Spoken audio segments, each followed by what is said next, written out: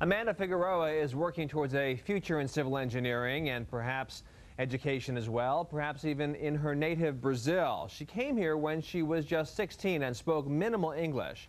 Now, just three years later, Amanda is number one in her senior class and making plans for college. News Center 5's Amalia Barreda has this week's A+. Right, we neglected to put the foundation. See, we Yes. put it on this page right here. And we didn't put on that right. one. That's so true. make sure that we Her teachers say Amanda Figueiroa is a young woman with a rock-solid foundation. Number one in her graduating class at the Greater New Bedford Regional Vocational Technical High School, where math is her forte. Yes, I like math, physics, she was science, math. Uh, no, not history. No, no literature.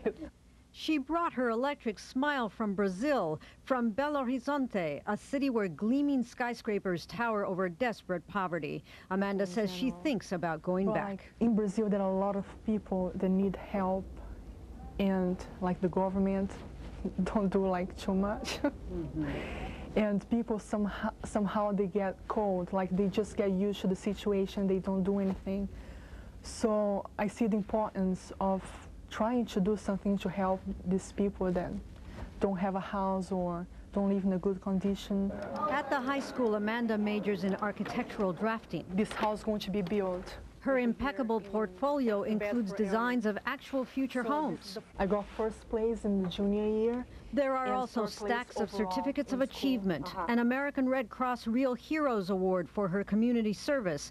She will soon be honored as one of the top vocational high school students in Massachusetts, and she also runs an after-school tutoring program. She's a magnet for knowledge. She um, has an incredible work ethic um, from the first bell of the school day to the last bell of the school day. I've never had a student that was uh, quite so focused as, uh, as Amanda.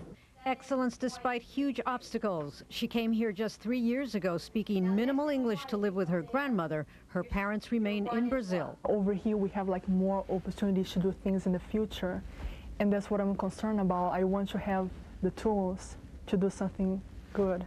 An A plus for Greater New Bedford Vocational Technical High School senior Amanda Figueiroa. Amalia Barreda, News Center 5. And if you know a graduating high school senior who deserves an A+, plus, please send a postcard to us here at News Center 5. The address, 5 TV Place, Needham, Mass. 02494. You can also email your suggestion by logging on to thebostonchannel.com. All right, still ahead.